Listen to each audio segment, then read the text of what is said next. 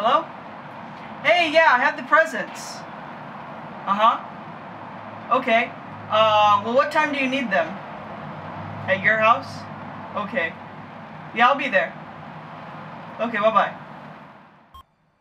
Uh, I participate in an event called the Angel Tree Project, which is basically where um, underprivileged families or adults, primarily of families that their significant other is overseas. So what I do is um, basically you grab a name, uh, it can be a, a, kid, a little kid, uh, a mother, a father, a teenager, um, an older adult. You grab the name of the kid or the person off the tree and it says what they want. You know, maybe it's their shoe size, their, their clothing size, um, the gift that they want for Christmas. And you pick, you take this uh, this tag with you. You go out shopping you pick up whatever you can afford for this person, and um, you, you wrap up the gift and basically you you take it to the person's house, and they uh, nine times out of ten they don't know you're coming.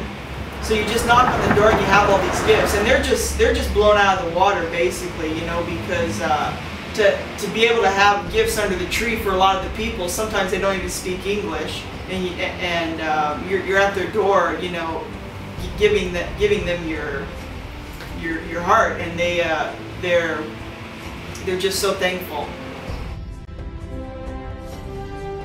Um, you know, it, it, it brought a lot of joy to my life because seeing seeing these people so uh, compassionate, you know, thankful beyond belief, and, and loving towards towards everyone, you know, that that's gone above and beyond for them. You know, it just it just made you feel good that, that you had had the chance to help somebody out, you know. I didn't want to be recognized about it, you know. I, I didn't want to, you know, praise, pat on the back, you know. It's just something that I like to do.